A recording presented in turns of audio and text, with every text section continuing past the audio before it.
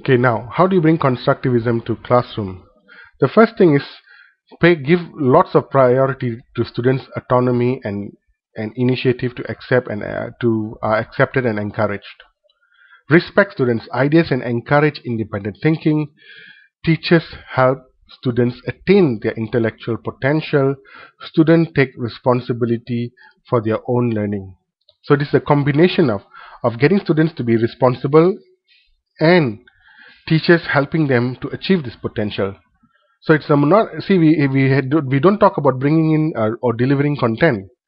We talk about how the teacher becomes a facilitator, sharing the learning experience with the students. High level thinking is encouraged. Students challenge or teachers challenge students to make connections, analyze, predict, justify, defend their ideas. And I always say in, in our MTL course, there is no wrong answer.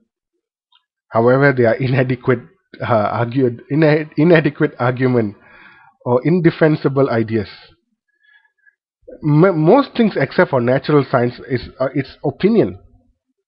But an opinion becomes fact when it's robust through, when it's robust, where it is created from evidence and, and, and logic. Okay, so the way in which teachers ask questions will influence students' response. Teachers ask open-ended questions that allows wait time for response. See, basically, this is a big problem in, in many schools. Obviously, we have lots of students and we have a limited time. Teachers tend to ask a question and answer it themselves. Because in order to wait, you know, the, the rule of thumb is to wait six seconds. And because six seconds is long enough where someone really feels awkward and they'll start answering. Uh, but obviously, I, am fully aware that these are there are constraints because the classrooms are large. You can't get to go around every student. You may have, in some cases, 50 students with 40 minutes of lesson time. So you don't even have a minute per student on the average. Students are encouraged in a students are engaged in a dialogue with the teacher and with each other. Students present what they and build their personal knowledge. Comfortable to express their ideas and allow for meaningful learning. Okay, this is a, a big shift from a behaviorist classroom where you are expected to reproduce what is delivered and you are measured from a behaviorist from what you can what you can uh, bring out and here the emphasis is what is happening inside, how you absorb information, how you put it in, how you synchronize new information with old information. And most importantly, constructivism pays lots of attention to individuals responsible and participation. Okay, Students are engaged in an experience that challenges hypothesis and encourages discussion. Students generate varying hypotheses about a phenomenon provide opportunities to test their hypothesis through dialogue. The classes use raw data, primary source, manipulate physical and interactive material, involve students in real-world situation. And finally, curriculum. Curriculum emphasizes big concepts, beginning with the whole and expanding to include the parts.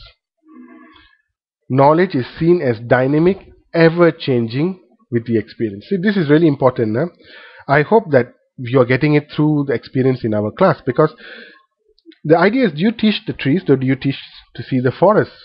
Because you can get lost in the details if you're just studying the trees. It's important to some field of study to know details, right? But what is very crucial is you should know the how the tree is situated within a bigger forest and how this piece of knowledge is connected to other forms of knowledge. Now, to review, constructivism is uh, an extension of cognitivism. It talks about how the social contribution towards an individual's learning and how, most importantly, the knowledge is constructed within the mind. So, uh, cognitivism was only talking about how knowledge comes in the mind, is uh, processes and stores it and constructivism takes it a step further and talks about how meaning is attached to this knowledge and this information and how uh, contribution from a, from a collective is basically the collection of minds That's why uh, constructivism has gained great traction within the formal academic world. And there's so much space to explore and implement and interpret constructivism in individual classrooms.